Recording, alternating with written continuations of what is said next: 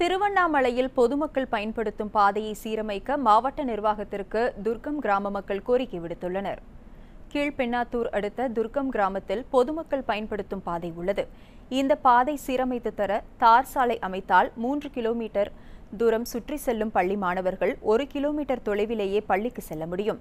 எனவே மாவட்ட நிர்வாகம் நடவடிக்கை எடுத்து பாதையை சீரமைக்க வேண்டும் என பொதுமக்கள் கோரிக்கை விடுத்துள்ளனர்.